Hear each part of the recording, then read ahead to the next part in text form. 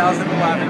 We've been making Ukes for about 100 years, but uh, we haven't offered uh, various sizes for a while. Here we have the uh, smallest, very standard soprano Uke, the uh, slightly larger concert Uke, and then the largest of this trio, the tenor Uke. We offer them uh, in koa, as well as solid mahogany,